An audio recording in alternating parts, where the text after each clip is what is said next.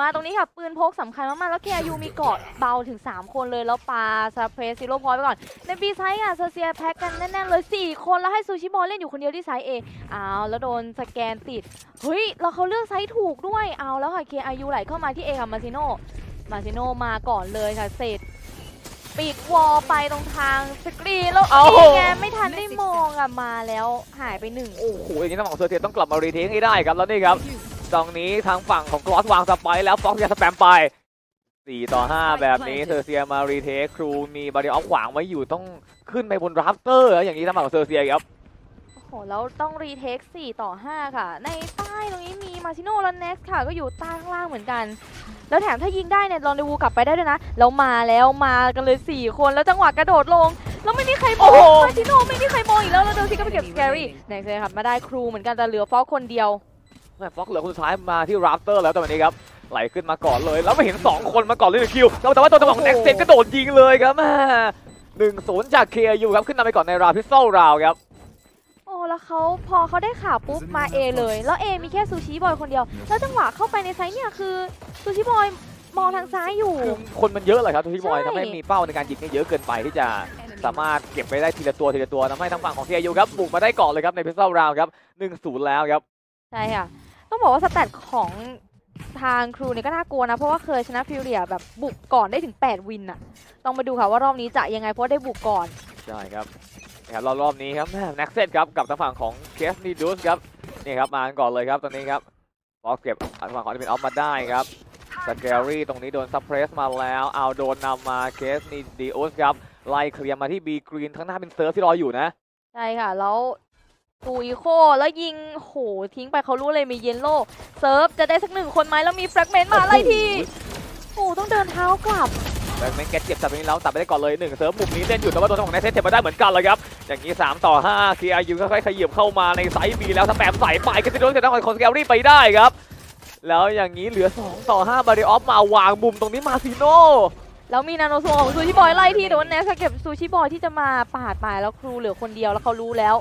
รู้เลยอย่างนี้สโนว์แมน โอ้เคาะเคาะแนสไม่ให้ออก เหลือคนเดียวแล้วเรียบร้อยนะครับแม่ทางฝั่งแน็กเซตครับเก็บ3ไปเลยครับในวินนี้ครับแล้วเป็นฟอร์เรสลาวจากทาง KRU ครับ2-0ครับทางฝั่ง KRU โอ้โหการใช้ของเคลียร์ของเคลียร์ยูเนี่ยแบบ เฉียบขาดจริงๆนะ คือเมื่อกี้อย่าง Surf ไปอยู่ตรงทาง yellow เนี่ยก็มีการแบบใช้ตัว fragment ไล่ที่ไปแล้วเจ็บหนักด้วย ใช่ครับ ตอนนี้เหมือนต้องบอกว่า XERXIA ตอนนี้เนี่ยเหมือนจะกันไม่อยู่นะ เพราะว่าได้หลายจังหวะที่เขาเลือกซื้อ site ถูกบ้าง หรือว่าตอนนี้เนี่ยเหมือนปืนจะสู้ไม่ได้นะครับ ต้องมาโดนกันที่ round นี้แหละว่า round full buy ของทาง XERXIA เนี่ยจะเป็นยังไงกันบ้างครับ ใช่ค่ะ ของจริงมันอยู่ที่ round full buy คุณผู้ชม ใช่ครับอันนี้ครับ มาครับ ทางฝั่งของ Mazino ครับ เตรียมโยน slow orb เลยครับ เป็นพื้นที่มารอบนี้ทางฝั่งของเซอร์เซียแกมาสแต็กมีสันสามคนเลยแล้วยิงซิลพอยต์ไปก่อนได้ครับคลอสเอาโดนมาแล้วเห็นสเกลลี่มากอดมาซิโน่เดินตามฝั่งขวามาไล่เคลียร์มาสแปมใส่ทางฝั่งของทัชสกรีนไม่ได้ครับ โอ้โอ้โหโห จังหวะพลิกช็อตเก็บมาสิโอ้โหมาซิโน่มาหัซินโน่ ไปเสยหน้าเซิร์ฟโอ้คนนี้แหละที่ผมกลัวมาตลอดแล้วแกตอนนี้เริ่มลั่นแล้วนะมาทำของฝั่งมาซิโน่ครับนี่ครับแล้วเดลซิกครับ มาที่บีกรีนแบบนี้ก็เก็บอันเดเมตออฟมาได้ก่อนแล้วครูโอ้โหเคสดีดีอุสครับ มาก่อนเลยหนึ่ง kill แล้วน้องเขาเทไม่ได้เหมือนกันแล้ว Mazino ไหลไม่ปัดเหมือนกันตรงนี้แล้วเหลือคนเดียวเป็น Sushiboys หนึ่งต่อสามครับโอ้แล้วนี่ค่ะซูชิบอยที่อยู่ไซส์ A ค่ะต้องโยกมาแล้วเขาได้วาง spike retake หนึ่งต่อสามโอ้โหครับแล้วนี่ครับ Sushiboys ครับ round full buy แบบนี้ก็ไปขุกขักกันอยู่ที่หน้าบริเวณ B long เลยครับทำให้โดนตัดผู้เล่นไปหลายคนเลยตั้งแต่ของ XERXIA ครับใช่ค่ะ แล้วมาต้องดูค่ะว่าจะretake ได้หรือเปล่า Sushiboys แล้วยิงไปแล้วเขารู้แล้วว่าอยู่ใน site ไม่ต้องโผล่มาเลยค่ะ KRU คือชิวๆเลย แล้วแฟดส่งมา แล้วมี toxic screen ขึ้นมาพอดีโอ้โหแล้ว Sushiboys จะ save ปืนหรือเปล่าครับอย่างนี้ครับนี่ครับน่าจะถอยกลับเลยครับอย่างนี้ครับ Sushiboys เคลียร์ไม่ได้เอาแต่ยังจะวัดอยู่ครับจะวัดก่อนตัวนี้เกสิติดูแต่โอ้โหไม่ได้ครับ Sushiboys ครับสามศูนย์ชนะของ KRU ครับโอ้โห แล้วฟูลบายมาเสียไป 5 กระบอกเลยค่ะเซอร์เซีย โอ้แล้วคือต้องบอกว่าเซอร์เซียเล่นเหมือนเดิมเลยนะ คือแพทใช่มีฮะกัน 3 คน แต่มุมนั้นนะคือเซิร์ฟไม่คือมาซิโน่ไม่รู้ข่าวแล้วใช่แต่จังหฮะวะที่ป่าจะไปเอาพอดีอะมาซิโน่ฟลิกช็อตขึ้นไปข้างต้องบชนมว่าแกคมแล้วจากนั้นแล้วมันไม่ไปคลุกคลิกกันอยู่หน้าบริเวณบีเมนครับทำให้ทางฝั่งเซอร์เซียนได้เล่นยากขึ้นมากทำให้ต้องเสียวินในวินที่ 3 นี้ไปได้นั่นเองครับ ต่อให้แล้วรเทอบรดได้ก็ตามนะ ใช่ฮะ แล้วตอนนี้เซอร์เซียก็อีโคนะ จากที่มีเห็น Sheriff แล้วก็ Stinger จากทางของสแกลรี่นะครับ แต่มีแอบ force มา มาดู Stinger ปืนนี้จะได้หรือเปล่า แล้ว slow มาได้ orb แล้วถอยกลับได้ไหมเอ้ยอ้าวยังได้หนึ่งอยู่ฟ็อกสวนมาได้ก่อนครับแต่ว่าทางฝั่งของมาร์ติโนไปชุบแน็กเซตขึ้นมาได้ครับ แล้วคลอสเห็นแล้วรอบนี้เซิร์ฟจะอ้อมหลังมาคลอสแกก็ดักไว้ก่อนเลยครับ เมื่อกี้เห็นกันแล้วนะแต่ปืนมันเป็น Shorty อะต้องกลับกันไปก่อนเลย โอ้โห ปืนเซิร์ฟไม่ค่อยอำนวยเท่าไหร่ แล้วเจาะเข้า A ใน A ไซส์เนี่ย บอกเลยว่าเคลียร์แล้วเหลือแต่ของเท่านั้นเพราะว่าซูชิบอยตายไปมันมี Snake Bite ค่ะ มาดักไว้ไม่ให้วาง spike แต่ Owl Drone หาข่าวใน site ก่อน แล้วแบบนี้รู้เลยนะว่าเคลียร์แต่น่าจะรู้อยู่แล้วเตอร์นะเพราะว่าใช้ของมา ใช่ครับ แล้วสแกลรี่ Snake Bite เบรกทางมามาร์ติโนยังยืนแค่อยู่วางมาก่อนได้แล้วไหลต่อมาแน็กเซตกับสแกลรี่ไปครับมุมนี้เซิร์ฟเล่นอยู่หน้าสกรีนมาร์ติโนจะเดินมาล่าแล้วถอยกลับมาเคสนี้ดิอุสก็มองทางฝั่งของ rafter ไว้ครับ เดลซิกเก็บครูไปครับเหลือเซิร์ฟคนเดียวแล้วฮะ เราเป็น Shorty มุมกระโดดมาอย่างนี้เรียบร้อยปืนเขาดีกว่าแล้วเขาอยู่มุมสูงค่ะ4ต่อ0ค่ะ KRU โอ้แล้วเมื่อกี้ไม่รู้พิษปลอมหรือเปล่าคือจังหวะที่ใช้ Snake Bite อะมาซิโน่เลือดลดเบาน้อมายกเลยมากนะนะใช่คือตอนแรกก็นึกว่าแบบเอออาจจะหายไปสักแบบ70เออสักสามสิบเปอร์เซ็นต์อะไม่ถึง30เมื่อกี้ไม่นถึง20เลยองะนิดฮะเดียวเองคืองงมากว่าเป็นพิษปลอมหรือเปไม่ล่าแน่ใจว่าลืมใส่พิษหรือเปล่าตอนทีมไปนะครับตรงนี้คตอรันบผสมลงไปใช่ไหมนี่ครับมาดูครับแล้ว4-0จากทางฝั่งของ KRU เลยครับรอบนี้เซอร์เซียนะครับ Vandal มา4กระบอกแล้วเซิร์ฟมีออ p เปอเรเตอร์เลยครับท่านผู้ชมครับมาค่ะ รอบนี้มี Hunter Fury แล้วด้วยส่วนทางนัสค่ะมี t o ดฟอร์แต่ว่าไม่แน่ใจว่ารอบนี้จะใช้หรือเปล่า เพราะว่า full buy มาอยู่เหมือนกัน แล้ว Poison Cloud ค่ะ เซตไปก่อนแล้ว Toxic Screen จากที่หน้า B แล้วมาเก็บ orb เรื่อยๆ อย่างนี้ก็ถือว่าดีนะ เพราะว่าเซอร์เซียได้ orb สองรอบแล้วอุ๊ยแล้วเซิร์ฟเอ้า first shot พลาดนิดหน่อยต้องกลับมาค่ะโอ้เซิร์ฟครับ มีพลาดให้เห็นบ้างแล้วทางฝั่งของเซิร์ฟนะครับอย่างนี้ครับแล้วนี่ครับ KRU ก็ย้ายกลับเลยเพราะว่า A มันมีออ p เปอเรเตอร์เลยครับท่านผู้ชมครับ เคสเคสนิวส์ครับเรามาก่อนเช็คไปมี Owl Drone นำมาให้จากทางฝั่งของคลอสครับ มาซิโนเดินนำมาแล้วเปิดยังกับ duelist แบบนี้แม่โอ้โห แล้วดูพอได้ข่าว A ปุ๊บโยกมา B คือตัดสินใจไวมากค่ะ แล้วดูเซอร์เซียเล่นใน site สองคนแต่ว่า rotate กันมาแล้วครูตรงกลางอะให้ฟอกเล่นไว้ก่อน เอก็ยังมีทางฝั่งเซิร์ฟอยู่นะครับแล้วนี่ครับดูเข้ามามาจากทางฝั่งเคสนิวส์ครับนี่ครับมาซิโน โยนมาก่อนเลยแต่มา Barrier Orb อย่างนี้แล้ว Barrier Orb ขวางไว้ขอวาง spike ก่อนแล้ว Hunter's Fury จากทางฝั่งของฟอกไล่เคลียร์พื้นที่มาก่อนแล้วไหลต่อมามุมนี้มาซิโนยังวางได้อยู่แต่เคสนิวส์ร่วงไปก่อนแล้วครับเน็กเซตชุดเข้ามาก่อนได้เหมือนกันมาซิโน่ถอยกลับมาเล่น post-plant ต้อง retake ครับเซอร์เซียครับโอ้โหแบบนี้ไม่ดีเพราะว่าไปตัด KO แล้วทุบมาได้ ตรงนี้กับมาซิโน่สแปมไปหลังสโมกแต่ว่าแน็กซ์อะยิงโทรฟอร์ไปแล้วถอยกลับมาเฮ้ยอ้าวแล้วนี่กับซูชิบอยนาโนโซมเก็บมาซิโน่ไปแล้วกู้จริงครูจุ่มคนจริงกู้จริงจุ่ม แล้วจบยาวสแกนลี่ไม่ได้ของเน็กเซตมาแล้วไหลต่อมาครูจุ่มได้ แล้วหนึ่งต่อสี่มาก่อนเลยฝั่งเซอร์เซียครับ เราคิดว่าเหลือคนเดียวรอบนี้เซอร์เซียเก็บสี่เลยเข้ามาเก็บเกไหมมนี้โดนเหลือคนสุดท้ายแล้วไม่ทันอยู่ดีแม่แต่ยังได้มาก่อนเลยหนึ่งต่อสี่จากเซอร์เซียครับ โอ้โห สวยงามกับเซอร์เซียราวนี้เกือบเป็น flawless round นะโอ้โหต้องชมความใจนิ่งแล้วก็ต้องชมสแกรี่อะที่ ยืนค้ำไว้ให้ได้จังหวะที่ครูเนี่ยกำลังทำการกู้ spike อยู่ แล้วผมว่าช็อตนี้เลยนะคือของเหลือเยอะเซอร์เซียตอนนี้ของในการ retake เหลือเยอะทำให้ครูมีทั้ง Barrier Orb มีทั้งจังหวะของของของ Snake Bite หรือว่าอะไรก็ตามที่ทำให้เล่นง่ายขึ้นแล้วเนี่ยครูแกก็สะใจเลยครับว่ายืนจุ่มยาวๆเลยของครู ขอบคุณมากเพื่อน มาค่ะ win แรกของเซอร์เซียนนับหนึ่งแต่ว่ารอบนี้โอเปอเรเตอร์โอ้โหโอ้ยไม่เป็นไรน้องไม่เป็นไรน้องแหมมีมันยังไม่ตื่นเหมือนกันวันนี้นะครับอ่าสำหรับออเปอเรเตอร์ครับแล้วนี่ครับเคสนิเดลส์ครับมาถึงหน้า A ไฟแล้วครับ ไล่เช็คมาก่อนเลยครับ อย่างนี้ site A เนี่ยมี 2 คนพร้อมกับ gadget ของซูชิบอยครับ ตรงกลางเน็กเซตรอบนี้พลาดเหมือนกันแล้วครูไม่ได้เคสดีดีอุสมาก่อนแล้วเลยครับ แล้วดูการยืนของเซอร์เซียคือปล่อยให้เข้า แต่ต้องดูเซอร์ซูชิบอยจะตัดได้ก่อนหนึ่งไหมแล้วครูโอ้โหทำอีกเฮ้ยเราเจอกันแล้วอุ๊ยนี่ไงครูค่ะเก็บคอสไฟแล้วซูชิบอยที่เล่นอยู่ตรง rafter ตรงนี้มี wall ปิดมุมไปเฮ้ยแล้วทำมีพอดีจังหวะกระโดดแล้วมาซิโนมาเก็บซูชิบอยไปแล้วจะมาได้อีกหนึ่งโอ้คนนี้เลยที่ผมบอกแล้วว่าเขาน่ากลัวคนนี้มาซิโน่แกเก็บ2มาเลยครับ เข้ามาเชื่อเหมือนกันแล้วฟ็อกอยู่บน rafter แบบนี้ Shorty โดนแดกเซตแม่ออเปอเรเตอร์แกตั้งไว้อยู่แล้วฮะสองต่อสามแบบนี้เซอร์เซียจะ retake กันได้ไหมเลยครับพี่เอ้ยโอ้แล้วเหลือ2ต่อ3แล้วซูเอ่อเซิร์ฟเนี่ยเป็นออเปอเรเตอร์ต้อง retake ด้วย ใช่ครับนี่ครับมาซิโน่ครับคนนี้กันลั่นจัดเลยครับแน็กเซตวางเป้ารอไว้ก่อนครับบน rafter แบบนี้สแกลรี่กระโดดมา Viper's Pit ครอบมาถึง spike เหมือนกันแล้วมาซิโน่เดินยัดเซิร์ฟแล้วเหลือสแกลรี่คนเดียวครับหนึ่งต่อสามแบบนี้สแกลรี่ ยิงมาเดียวออฟไปครับเรา Snake Bite เบรกทางข้างหน้าไว้ก่อนมาซิโน่จะอ้อมหลังมาฝั่งนี้สแกลรี่ยังเช็คอยู่ Snake Bite มาซิโน่แล้วตัวสแกลรี่จะไปได้ก่อน อย่างนี้เหลือหนึ่งต่อสองครับแกรี่แล้วมุมซ้าย มุมซ้ายเป็นออเปอเรเตอร์โอ้โหโอ้แล้วเขาหยิบ Headhunter มาใช้โอ้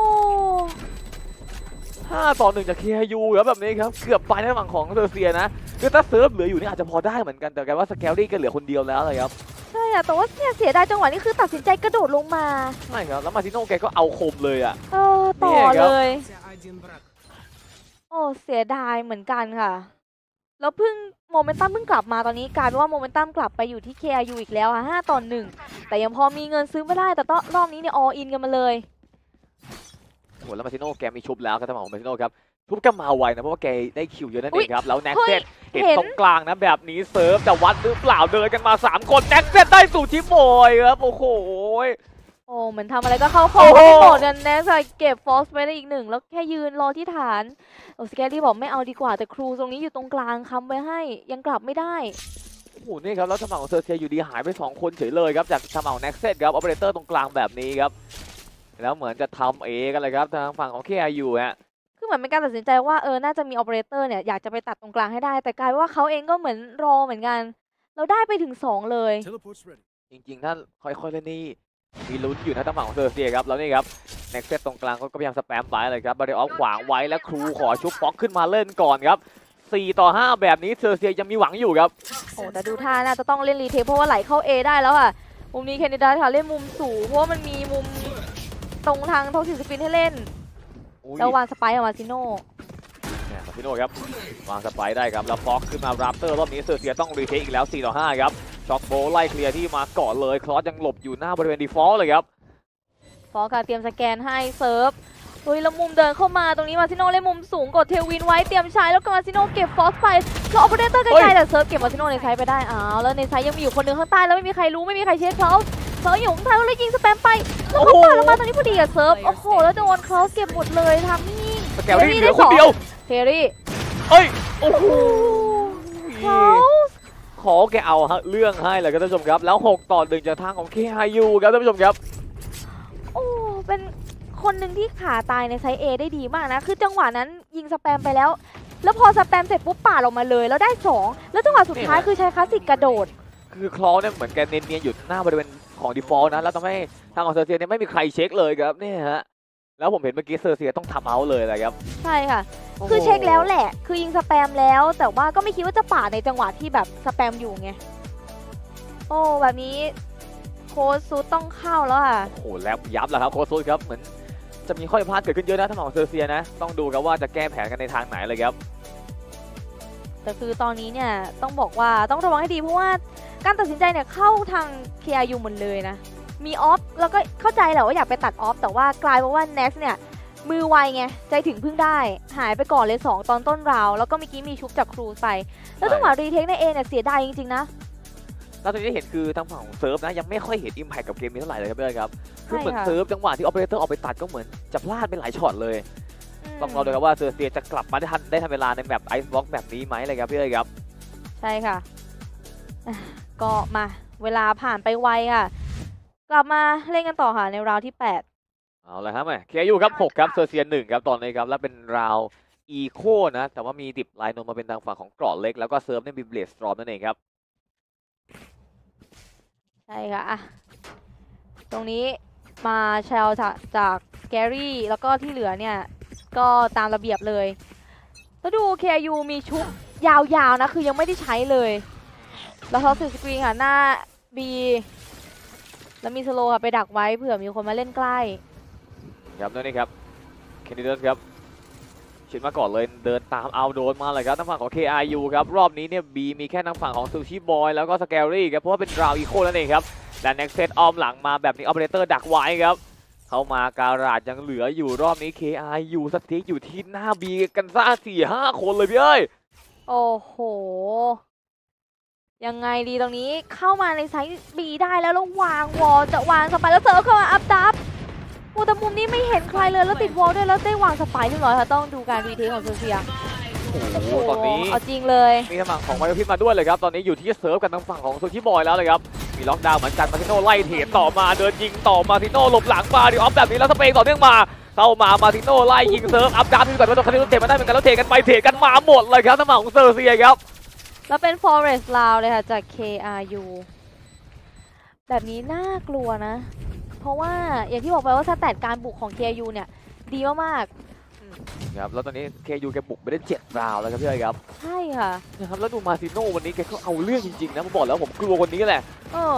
แล้วราวนี้เนี่ยการตัดสินใจของ KU คือเลือกจะใช้ Viper's Pit เลยนะ ถามว่าใช้แล้วมันคุ้มไหมมันก็มันก็ได้แหละแต่คืออย่างนี้คือเขาเอาชัวร์เลยอะต่อให้ใช่ครับรู้ว่าเซอร์เซียไม่มี ปืนก็ตาม เขาบอกว่าจริงๆก็ถือว่าใช้ก็ได้นะเพราะว่าในแบบนี้ก็เป็นแบบที่เรียกว่ากลับมาได้มีระเบียบเยอะเพราะว่ามีสมัครของ Ultimate Orb ที่กระจายอยู่ตามพื้นที่นั่นเองครับก็ต้องดูเลยครับว่าเซอร์เซียครับจะกลับมาได้ไหมรอบนี้เซิร์ฟเป็นออเปอเรเตอร์ครับ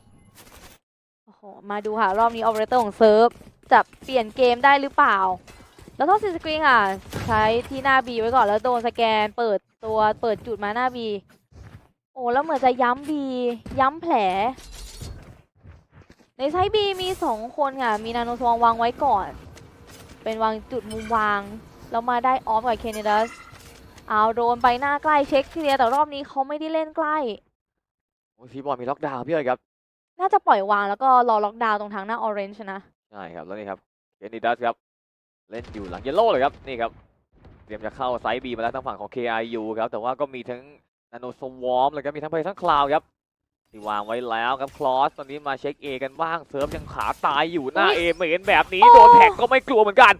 เซิร์ฟยังไงฮะเซิร์ฟหลบมาที่ A ไปแต่คลอสก็ไม่กล้าวัดเพราะเห็นออเปอเรเตอร์แล้วครับโอ้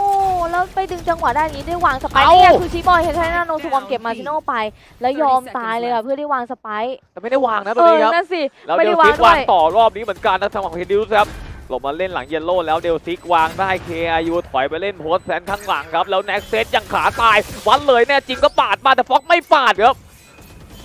โอ้โหแล้วเขาได้วาง spike ต้องดูนี่ไง retake แบบล็อกดาวน์แล้วเขาเมนเตอร์ฟิลี่เอาล็อกดาวน์ออกออกไปเลยล็อกดาวน์โดนพังที่ไม่ก่อนแล้วรอบนี้ครับ แล้วแน็กเซตยังขาตายอยู่หน้าสกรีนแบบนี้มี shock bolt มาไล่ที่เหมือนกัน เข้ามาช็อคโบว์อีกลูกหนึงแล้วมันกับเซิร์ฟแต่โอ้โหแน็กเซตแกคมกว่าครับเข้ามาไหลต่อเนื่องมาคุณจะได้ของเดลซิกไม่ได้เหมือนกันเข้ามาต่อเคนิดุสมุมนี้เล่นอยู่หลังเยลโล่ปาดซ้ายมาทางด้านของครูบายรอบนี้แล้วเดือนเก็บสองมาเหลือฟอกคนเดียวไม่รอดเคนิดุสเก็บสามครับ OMG ช็อตนี้โอ้แคโหนดิดัสยังคม แกยืนอยู่หลังเยลโล่นะคนเดียวเลยนะของเคนิดัสครับเอ้ย โอ้เมื่อกี้กำลังช็อตอยู่แล้วดูดู replay ตรงนี้นะคือรอนานแล้วแล้วหันไป flick shot ใส่เซิร์ฟ แล้ววงเคนดิดัสอย่างคมอีกช็อตแรก แล้วดูเหลือเจ็ดนัดโอ้สเปรย์ใช้หมดเลย โอ้โหครับเคนิดัสครับท่านผู้ชมครับ มา3คิวติดเลยครับวันนี้ครับ KIU ครับในแบบไอซ์บ็อกแบบนี้ตอนแรกเบรกจังหวะสวยแล้วนะ nanoswarm ไปตัดตัววางแล้วพอพอเพื่อนเสียปุ๊บวางแบบทันทีเลย แล้วไปเสียเวลาจังหวะ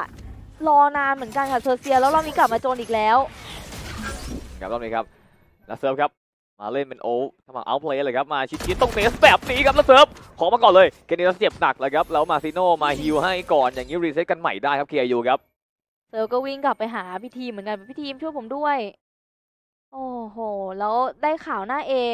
แล้วฟอกเอาเลยเหรอโหนสลิงมาแล้วเล่นพร้อมกับครูซโหนมาใกล้ๆมาเล่นใกล้ค่ะ ต้องสร้างความได้เปรียบก่อนเพราะตอนนี้เนี่ยปืนเนี่ยเสียเปรียบกว่านะ แต่ว่าฝั่งทางมาซิโน่ก็ค้ำรออยู่ใกล้ๆมีเคนดิเดอร์ที่กำลังล่านๆอยู่เหมือนกันอุ้ยโอ้แล้วมาซิโนมุดมันก็มุดมาแล้วเคนิดัสเก็บทางด้านของเซิร์ฟไปได้ครับมุมนี้ครอสโดนช็อตโมไล่ต่อมาครูทางด้านของครอสเก็บไปมาแล้วครอสเดินต่อแล้วครอสเก็บไปอีกหนึ่งเก็บทางด้านของฟ็อกซ์ไปได้เหมือนกันแล้วเหลือสองกับทางด้านของเซอร์เซียครับโอ้ดูการท่าเป้าของ KRU นะแต่ละคนคือแบบหัวเป็นหัวนะแล้วหายไป 3 เลยค่ะ เหลือซูชิบอยกับสแกรี่สองคนสุดท้ายโอ้แบบนี้นี่แล้วแกเหลือแค่คลาสสิกกับทางด้านของ Stinger ด้วยเลยครับแบบนี้เดี๋ยวโอ้ take จากตรงกลางไว้ก็ขยี้เป้าใส่ซูชิโบอยเลยครับตรง mid ครับเหลือสเกลลี่คนเดียวครับ จิตใจทำด้วยอะไรคะเดลซิกค่ะ ยังตักตัดที่ฐานแล้วหายไปเลยอะเหลือสแกรี่คนเดียว แล้วระยะไกล Stinger ไม่ไหวใช้คลาสสิกเคาะแล้วเขาเปิดจุดแล้วโอ้โหแล้วดูท่ายังไงดีสแกรี่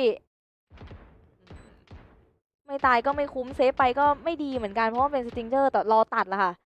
แต่ดูการเล่นของเคียยูแกก็โลเหมือนกัน คือไม่ไม่เข้าไปวัดสุดนะไม่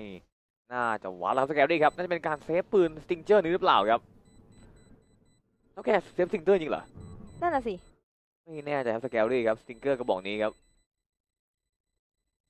ก็ยังไงดีคือไม่มีใครมาหาด้วยไง แล้วก็ไม่รู้จะไปเซฟไงวิ่งทันจะวิ่งไหมไปฮะวิ่งไปแต่วิ่งแต่ไปสไปค์ไม่วิ่งปทันครับโอ้สโหเกลลี่ครับ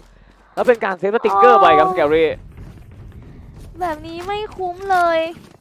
คคือด้วยความที่อย่างที่บอกไปแหละว่า KRU คือไม่ได้วัดสุดไงคือปล่อยเลย เพราะว่ายังไงก็รู้ว่าเซฟไปก็ คือมันก็ไม่ไม่ดีอยู่แล้วอะแล้วจังหวะที่สแกรี่จะวิ่งมาตายก็โอ้โห ดึงกลับไป ใช่ครับ แล้วนี่ฮะสแกดูลดิลี่โอ้แล้วมี replay อะไรแบบนี้ให้ดูด้วยเหรอ ไม่ทันเลยครับสแกลลี่ครับแหม่อ๋อยิ้มแห้งเลยนะสแกลลี่ ใช่แล้วดูสกอร์ครับตัวนี้เซิร์ฟอยู่ที่ 191 ครับเซิร์ฟโอ้เหมือนจะไม่เห็น Impact ในการยิงของเซิร์ฟในเกมนี้เท่าไหร่เลยครับพี่เอ้ยฮะ ใช่ค่ะ นี่ฮะ มาตรงนี้เลือกเลือกที่จะดันออกมาที่ B เลยแล้วรอบนี้เล่นกันที่ A แล้วดูเดลซิกจะเป็นคนคอยดักตลอด ต้องดูว่าจะเจอกันไวหรือเปล่าแล้วเซิร์ฟมุมนี้โอ้ยนี่ไงเซิร์ฟมาแล้วค่ะไปทักเขาไงเซิร์ฟตอนนี้ยิงให้ก่อนเลยสมองเดลซิกโดนตัดไปแล้วเลยครับเคนิดัสมาเอาโดนแล้วแต่ไรนำไปครับโอ้โหตรงนี้ค่ะเคนเนดัสเล่นหน้าใกล้แต่เขาถอยเลยค่ะ กลับกันไปใน site เริ่มกันใหม่แล้เอาวมีชุบชุบโอ้โอ้โหดองไว้นานนะ ชุบวันนี้ทางฝั่งของเคอายูครับโหกลายเป็นว่าตอนนี้กลับมาเสมอเท่ากัน 5 ต่อ 5 ค่ะ แล้วเหมือนจะเข้า A โอ้โหครับแล้ว KRÜ น่าจะกลับมาทำเองแล้วครับ ซึ่งใน A เนี่ยมีทั้งฝั่งของฟ็อกกับ gadget ของพี่บอยอยู่คนเดียวเลยครับแบบนี้ครับ สกรีนขึ้นไว้ก่อนแล้วนูคอมมามันจะตอง keznit รู้สึกเหมือนกันมาซิโน่เดินตามมา Barrier Orb ปิดซ้ายเอาไว้ไล่ยิง Turret ไปก่อนเหมือนกันฟ็อกปัดขวาออกมาแล้วครูยังยิงอยู่แล้วมาซิโน่โดนฟ็อกสวนหายไปเลยครับเอามาแล้วค่ะตัดได้ไปก่อนหนึ่งแล้วนี่ไงจังหวะหันหลังให้โอ้โหแล้วได้สองเกือบได้สามตัวเซิร์ฟยังตัดเดี๋ยวเซฟไม่ได้แล้วแน็กค่ะมันได้เซิร์ฟอ้าวแล้วเหลือสองต่อสาม เอาเลยครับแม่ทางฝั่งของ XERXIA ครับตอนนี้ 2 ต่อ 3 มาก่อน จะกลับมา retake ให้ได้ซูชิบอยยังเล่นอยู่สกรีนครับสแกลลี่เดินเช็คลงมาด้วย Guardian มีสกรีนขึ้นไว้ แล้วขอแตะ spike มาก่อนเลย เดินชิดมุดมาหน้าท็อปทีมสกรีนแบบนี้แล้วไหลต่อมาเกมๆคอยไม่ได้เหมือนกันซูชิบอยเดินต่อ Viper's Pit จากทางสแกลลี่แล้วครับเอ้ยแล้วซูชิบอยได้หนึ่งเอ้ยอ้าวแล้วเหลือ one on oneสแกรี่ได้ครึ่งไหมนี่เฮ้ยแล้วเขากระโดดลงมาโอ้ สแกลลี่เอามาก่อนได้เป็น 2 ต่อ9จะทางของ XERXIA ครับ สวยงามค่ะสแกรี่เอาให้คนนี้ ชื่อนี้บอกเลยว่าแน่นอนอยู่แล้ว โอ้โหครับเอาเลยครับผม 2 ต่อ 9 จาก XERXIA ครับท่านผู้ชมครับกลับมาได้ก่อนอีก win หนึ่งครับ โอ้ตัดสินใจได้ดีเลือกที่จะใช้ Viper's Pit แล้ว Guardian ของแกนี่คมจริง ๆ นะ จังหวะนี้ถ้าปาดออกไปเก็บครอสมาได้ก่อน แล้วจากที่เหลือเนี่ยเป็นวันออนวันแล้วจังหวะกระโดดมายัง ถือว่าตัดสินใจได้ไวแล้วฟลิกไป เก็บแคนิดัสไป ครับ มาดูว่าจะจบสกอร์แบบ 9 ต่อ 3 หรือเปล่าในช่วงครึ่งแรกค่ะ นี่ครับเซอร์เซียครับ กลับมามามามาที่ที่บีบีกักันนบ้าบ้างงแล้แล้ววเคดิสครับเคดิสพอยต์ไปครับเคดิสแบบนี้เซอร์เซียตรงนี้เราเสิร์ฟมาชิดใกล้เลยแล้วเสิร์ฟกลับมาก่อนแล้วเสิร์ฟตั้งคิวไปก่อนเหมือนกันแล้วเดลซิกเก็บมาก่อนได้อยู่ดีแล้วสแกลลี่ไม่ได้ของเคดิสมาครับสแกลลี่เล่นอยู่รอบนี้ NagZ เปิด Tour De Force มาตรงกลางถอยกลับไปก่อนซูชิบอย Owl Drone เอ้มายจากฟ็อกเหมือนกันแล้วฟ็อกแม่ยังไม่โผล่เลยครับฟ็อกครับโอ้ถือว่าดีจังหวะนั้นใช้ Owl Drone ออกมานะ แล้วพอรู้ว่าเป็นทูดฟเฮ้อยยถอยกลับเลยอุ้ยอุ้ยแล้วจะวัดเลยเหรอฟ็อกเห็นนะน่ะเฮ้ยโอ้โอ้โหฟ็อกครับ แม่เล่นใจแบบจะหัวใจวายจะวายตรงนี้แม่ครับแล้วคือมาเดลซิกมุดมาถึงหน้าบริเวณ B site ใกล้ๆ Snowman แล้วครับทางฝั่งของเดลซิกครับเลื้อยมา NagZ ก็เลื้อยขึ้น Kitchen แล้วป้องเห็นก่อนครับมาก่อนเลยถึงคิวแล้วกดต่อมาของเดลซิกที่หน้าของสแกลลี่ไปได้ แล้ว Viper's Pit ขึ้นมาใน site B ขอวาง spike ก่อนหนึ่งทีแต่ว่า Hunter's Fury มาไม่ให้วางครับฟอกครับโอ้โหแล้วไล่ไล่หามุม default เลย แล้วเขาเปลี่ยนเหลี่ยมค่ะเดลซิค่ะ วาง spike ได้แล้วโอ้วางได้ฮะ แต่วางได้ตอนนี้ก็ไม่ใช่ผลแล้วอยู่ที่การ retake ของทางของ XERXIA ครับเป็นฟอกกับซูชิบอยครับเฮ้ยแล้วเขาออกมาเล่นมุมข้างนอกแล้วโอ้โหเจอซูชิบอยพอดีแล้วเก็บ triple kill ไปแล้วเหลือ one on one กับฟ็อกซ์สามโอ้ยคิวกับสองคิวตรงนี้ฟ็อกซ์จะเก็บได้ไหมฟอกกับเดลซิกครับตอนนี้แล้วฟอกยืนจุ่มสกรีนมาของ Viper's Pit นานมากครับโอ้แล้วตอนนี้ Viper's Pit มันหายไปก่อนแล้วฟ็อกจะปาดแล้วเดลซิกเห็นก่อน รอบนี้เดลซิกไปเล่นไกลแล้วฟ็อกยิงมาเจ็บหนักเดลซิกฟ็อกขอครึ่งก่อนฟ็อกเอาครึ่งได้แล้วเลยครับท่านผู้ชมครับแล้วจุ่มยาวแล้วฟ็อกจุ่มยาวแล้วมาแล้วสามเก้าจากทาง XERXIA ครับโอ้โอ้แล้วฟ็อกได้ของเดลซิกมาด้วยครับ เอาแล้วครับท่านผู้ชมครับสามเก้า XERXIA ไปกันต่อในครึ่งเวลาหลังครับพี่ไอ้ครับ โอ้ภูมิใจในตัวพี่โอ้โอ้โห no fake อีกแล้วแล้วแต่ละ win เนี่ย win แบบนี้ได้ได้มาจากฟ็อกอีกแล้วนะท่านผู้ชมครับ คือ ผมว่าเดลซิกแกก็เอาสุดแล้วนะแกเล่นตรงนี้เก็บซูชิบอยไปได้เก็บคนนู้นคนนี้ไปได้แต่ว่า ใช่ค่ะกลายเป็นว่าแกกลับมาได้ครับ นี่ฮะขำกันไปหนึ่งทีนะฝั่งเซอร์เซีย ไว้ใจได้จริงคนคนนี้เอาแล้วค่ะ มาจบที่สกอร์9ต่อ3ในช่วงครึ่งแรก ตัดสินใจได้ดีเฮ้ยผมว่าอย่างนี้ใจมานะเอ้ยมีโอกาสเหมือนกันอะแต่ว่าก่อนจะไปถึงครึ่งหลังเนี่ยเดี๋ยวเราไปพักกันก่อนครับผมแล้วเดี๋ยวกลับมาดูกันในครึ่งหลังต่อที่ Volkswagen Arena ครับ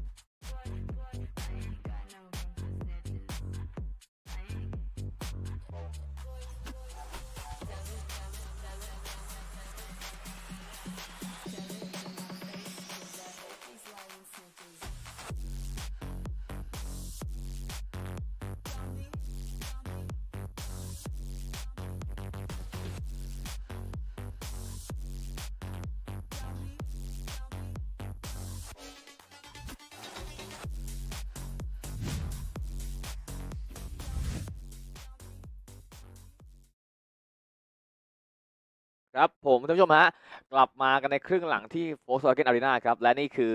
XERXIA กับ KRÜ ในครึ่งหลังแล้วครับพี่เอ้ยครับ ใช่ค่ะ มา win ที่สำคัญที่สุดในชีวิตตอนนี้คือ win ปืนพกค่ะ XERXIA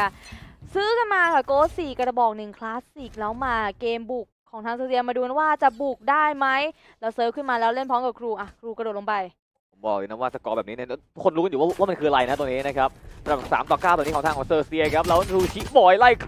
เก็บมาก่อนเลยมาซิโนแกเจ็บหนักเลยครับ ZERO/point มาแล้วแคดดี้ดัสไปตัดเซิร์ฟมาได้ก่อนแล้วเลยครับพี่เอ้ยโอ้แล้วไปตัด duelist ของทีมมาได้ แล้วตรงนี้ต้องฝืนเข้าต่อแล้วเคนดิโดพยายามยิงสแปมไป แล้วมีโอ้โอ้โหมันมีมันมีแง่งให้ดูไงเข้ามาแล้วมาซิโนตัดครูไปได้เหมือนกันเหลือซูชิบอยคนเดียวแล้วครับซูชิบอยแล้วโดนมาซิโนคนนี้อีก็แล้วครับเก็บไปเลย3 kill แล้วเป็น 10 ต่อ3จากทางฝั่งของ KRÜ ครับโอ้โห KRU ค่ะ ปืนพกนี่แบบ แม่นแม่นคมคมๆมาเลย เรามาดูรีเพย์กันค่ะ ตรงนี้ค่ะเซตทางของสเปซไปแล้วดูมุมแค่หัวนะ โอ้โหมาซิโนนี่เนี่ยคนนี้แหละที่ผมกลัวแกตั้งแต่เริ่มราวเลยครับแล้วเนี่ยครับฟอร์มของแกมันเห็นผลจริงๆนะว่าแกเนี่ยเป็นคนที่น่ากลัวของทาง KIU เลยครับใช่แล้วเวลาตอนยิงคือหน้านิ่งมากแล้วดูโค้ชโค้ชเรโซค่ะแหมถึงกับกรี๊ดกร๊าดกันเลยตรงนี้มาแล้วได้ปืนพกมาก่อนเพราะเป็น win ที่สำคัญ ตรงนี้ต้อง full eco ค่ะสเปรดติดมาหน้า Bเสิร์ฟฮะตอนนี้มากับ Sheriff ครับแล้วขอมาก่อนแต่โดน Klaus สวนมาเลยครับแม่แล้ว Klaus เหลือ 25เท่านั้นครับอย่างนี้ใน Klaus ได้ kill มาจากมาซิโน Owl Drone มาเช็คตรงกลางเห็นครูแต่ฟอกเขาเลื้อยมาถึงข้างหลังนะดิเฮ้ยต้องมาดูยังไงต่อฟ็อกมาแล้วแล้วจะมาที่ B หาอยู่อยู่ไหนอยู่ไหนกันหมดโอ้แล้วไม่เจอใครเลยเพราะเขาไปเล่นหน้า B Main โอ้โหโอ้ยจริงๆถ้าฟอก อ้อมไปถึงนะเฮ้ยว่ามีลุ้นแล้วฟอกเห็นแล้วเอ้ขออย่างเดียวฟอกอย่างนี้แล้วฟอกเห็นก่อนเลยครับ เอาครับค่อยๆเดินมาฟอกฟอกเดินมาไล่มาที่ Yellow แบบนี้ครับ เคลียร์ข้างหลังมาเห็นมาหนึ่งเห็นมาสองคนเอามาหนึ่งเอามา สองโอ้โหไม่ได้ครับฟอกครับแล้วเป็นเดลซิกที่สวนกลับมาก่อนได้เหมือนกันแล้วไหลต่อมาเดลซิกเก็บหนึ่งมาอีกหนึ่งเหมือนกันไหลต่อมาคลาสสิกแต่ว่าตัวซิชิบอลเห็นมาก่อนได้เลยครับแบบนี้ 2 ต่อ 3 มาสแกรี่กับซูชิบอยครับ Revealing area. ตรงนี้ค่ะซูชิบอลยังไม่ได้ปืน แล้วยิงสแปมไปเห็นข้างบนชั้น 2 แล้วแต่ว่าเคนเนดัสค่ะก็คอร์ให้ตรงทางสโนว์แมนแล้วเขาโอ้โหโอ้โหมาซิโน่ครับรอบนี้มาแล้วเคสดินโดสแตกมาสแกรี่ก็ขาวเลยครับ 11 ต่อ3จากทางฝั่งของ KIU เลยครับ เสียดายช็อตป้อมเหมือนกัน ถ้าได้สองใช่อะเมื่อกี้นี่คนละเรื่องเลยนะพี่เป้ยใช่ คือเสร็จแล้วจังหวะแรก คือมันไม่โดนหัวไง แล้วพอจะย้ำอีกรอบเนี่ย ด้วยความที่เขาเป็นปืน Spectre ระยะใกล้เนี่ย มันหันมายังไงก็รูดหายอยู่แล้วนะ11 ต่อ 3 กับ KRU ขึ้นนำอีกแล้วรอบนี้กับ full buy ของเซอร์เซียอีกครั้งหนึ่ง รอบนี้ก็สำคัญ เพราะว่าถ้าแพ้รอบนี้เนี่ยเขาจะแตะ match point แล้วมีโอกาสที่จะปิดเกมนี้ได้เลย โอ้โหครับแล้วเซอร์เซียครับเป็นฟูบายครับรอบนี้ KIU ก็ไม่ได้ซื้ออะไรมาเลยครับเป็นบูลด็อกแล้วก็ของที่เหลือมาจากเราที่แล้วเป็นมาลัสเราครับรอบนี้เซิร์ฟเทลวินลังอัพดาฟตามมาเซิร์ฟจะต้องของเคเดลัสไปได้ครับเซิร์ฟรอบนี้เห็นอยู่เป็นแน็กเซียไหลต่อแล้วโดนเดลซิงสวนมาด้วยโกนเลยฮะโอ้แล้วโกดระยะนี้เข้าหัวเซิร์ฟไปเลยค่ะ หายไปก่อนค่ะด้วยเอลิสของทีม แล้วมีสแกนมาตรงทางหน้าเยนโล่ถอยหลบมาได้ฮะเน็กซ์เดลซี่ค่ะมองตรงแถวหน้าออเรนจ์ไว้ให้แล้วครูเดินไหลเข้ามาจะเจอเน็กมุมนี้คอสกับฟ็อกอยู่ อุ้ยเฮ้ยแล้วดู Headhunter Headhunter น่ากลัวมาก แล้วต้องให้โดนมาก่อนจากฟ็อกไล่เช็คขวาไปแล้วกูยังมองเป้าอยู่ตรงนี้ครับแน็กเซตขึ้นมาไล่ Headhunter ไปก่อน โดน tag มาแล้วจาก Owl Drone แล้วครูจะปาดซ้ายมาหาแน็กเซตแต่แน็กเซตสวนมาหายเลยครับครูโอ้โห แล้วนี่ไงบอกแล้ว Headhunter มันน่ากลัวแล้วจะเอาเหลือต่อเม็ดเดียวไหมนะเหลือเม็ดเดียวแล้วต้องลงในวูกลับเลยครับแน็กเซตครับสามต่อสี่แบบนี้แน็กเซตถอยกลับมาเล่นข้างในได้แต่ครูเสียไปแล้ว โอ้แล้วเหลือสามคนใน win full buy แบบนี้แต่เขายังไม่ได้ปืนนะ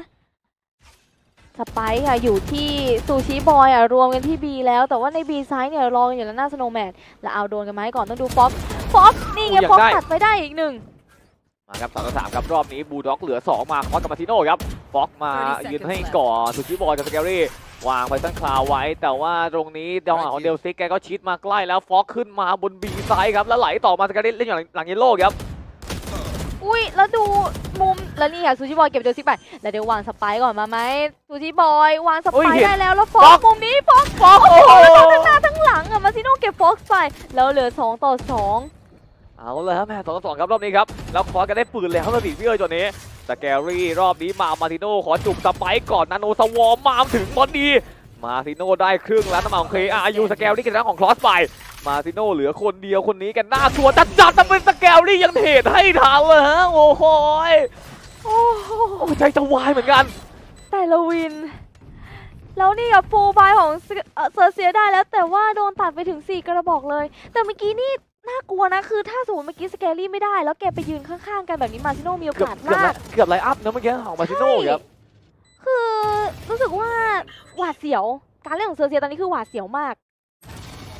โอ้โหโอ้นี่ครับยังได้ครับ นิ่งๆนะตอนนี้ยังไม่ได้ดีใจอะไรมากสำหรับของสแกลลี่ครับใช่ค่ะด้วยความที่สกอร์อาจจะตามเยอะอยู่นะคะ มาราวที่ 16 โอ้โหครับเอาเลยครับผมรอบนี้เซิร์ฟครับ Updraft มาก่อนเลยครับกระโดดเช็คซ้ายมาเซิร์ฟตอนนี้ Updraft Tailwind หมดแล้วครับมีแค่ Cloudburst ครับไล่เช็คมาก่อนให้ฟ็อกซ์ Owl Drone นำมาให้ครับเซิร์ฟยังอยู่หน้าบริบีกรีนแบบนี้แล้วเห็นเดลซิกโดนแท็กมาช็อกโบว์นำไปเอาฟ็อกซ์โดนตัวเองนะครับโอ้โห ตรงนี้เลือดเหลือ 96 เลยค่ะฟ็อกแล้วมีสแกนมาแล้วโดนสแกนนี่เนสเก็บเซิร์ฟไป แล้วยังรู้ว่ายังมีอีกหนึ่งคนหน้าบีเมงนะฟ็อกฟอกไหลขึ้นมาข้างบนแต่ว่ามุมเยลโล่นี่ไปเปิดมุมแล้วเคนนีดอสเก็บฟอกไปแล้วโดนตัดไปถึง 2 คนก่อน เหลือ 3 ต่อ 5 จะย้ายมา A แต่ A ก็มีมาซิโน่คนนี้มาซิโน่ peek แล้วเห็นเห็นเรียบร้อยแล้วว่าจะเข้า A แล้วมี slow วางไว้ แล้วมี wall ด้วยแล้วมาเล่นทางซ้ายใน site เรียบไหมซูชิบอยโอ้ยมาซิโน่คนนี้ อีกแล้วเลยครับท่านผู้ชมครับ แล้วเหลือสแกลลี่คนเดียวหนึ่งต่อห้าครับ โอ้มาซิโน่เดินขับฟีโน่ปาดหมดเลยด้วย Phantom แล้วเหลือสแกรี่คนเดียวแล้ว win นี้ มีโอกาสที่ KRU จะแตะ match point แล้วค่ะ โอ้โห ผมไม่รู้อะไร ผมอยากให้ทุกคนช่วยกันพิมพ์ว่าace สแกรี่ได้ไหมฮะ ตรงนี้ให้กำลังใจแกหน่อยห้าต่อหนึ่งแล้วตอนนี้ ace สแกรี่สักหนึ่งทีฮะ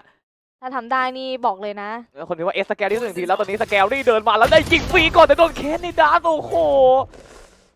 โอ้แล้วเป็น Forest ลาวเลยค่ะ KRU กับ match point แล้วในราวที่ Match point. อ่าผมนะคะโอ้คือตอนนี้เนี่ยปัญหาของเซอร์เซียหนักๆเลย คือการยืนแล้วไม่ได้ cross กัน แล้วดูคือหนึ่งเลย shock dart พลาดแล้วไปโดนสแกนปุ๊บพอสแกนหันหลังไปยิงเซิร์ฟโดนเก็บฟอกจะหันมามองใน site แต่ว่า yellow ยังไม่เคลียร์ แล้วเคนเนดูก็ได้จังหวะ แล้วดูมาซิโน่ที่อยู่หลัง site คืออ๋อก็ตามภาพอะเหมือนตอนนี้คือทางฝั่งของเซอร์เซียเหมือน ในเรื่องของในการวัดคมเลยนะ ในเรื่องของการยิงตอนนี้เหมือนจะยังไม่ตื่นเซอร์เซียต้องบอกอย่างนี้อืมเพราะว่าวันนี้เนี่ย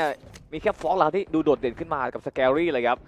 นี่ฮะแล้วฟอกรอบนี้มานี่ไงพูดไม่ทันขาดครับเป็นด้านของมาซิโน่ไปครับรอบนี้ไล่ขึ้นมาเหมือนกันแคดดี้โดนก็ซีโร่พอยต์ขวางไว้ซีโร่พอยต์ตรงนี้มาก่อนมีทะเลาะเบรกทางมาแคดดี้โดนยิงข้างล่างเดียวคอนโบไปโอ้โหมีแฟกเป็นตาเบรกเหมือนกันแล้วแคดดี้โดนไล่ยิงฟรีตรงนี้เก็บสแกลนี่ไปได้ครับ เราสเปรดมาเห็น 5 คนเลยตรงนี้แล้วหายไป 2 อะ ของวางก่อนครัววางวอลไว้ ได้วางสไปร์กับเซอร์เซียต้องมาดูการการรีเทคจัดใกล้ๆแคนิดัส โอ้เราเดี๋ยวสิค่ะเล่นตรงทางลับเตอร์แล้วข้างหลังมี next ฟอกจะรู้ตัวไหมฟอกดักหลังอยู่แต่ดูทามมิ่ง โอ้ยโอ้โหแล้วแน็กเซตจะอ้อมอีกแล้วครับ แล้วนี่ฮะแน็กเซตขยี้เป้ารอบนี้โดนฟอกเลยครับ จังหวะของครูครับ เล่นอยู่ในไซด์ครับ3ต่อ2ครับ ครูคิดมาก่อนเลยแล้วเซิร์ฟได้ของแน็กเซตไม่ได้เหมือนกันโลออฟไปเดลซิกเก็บเซิร์ฟมาได้แล้วครูรอบนี้โดนเคสนี่ดัสเรียบร้อยเลยครับ แมปแรกครับเป็นของทางฝั่งของ KRU ครับ เรียบร้อยค่ะ 13 ต่อ 4 โอ้โห KRU ได้ไปก่อนในแผนที่ Icebox ที่เซอร์เซียเลือกมาค่ะ 13 ต่อ4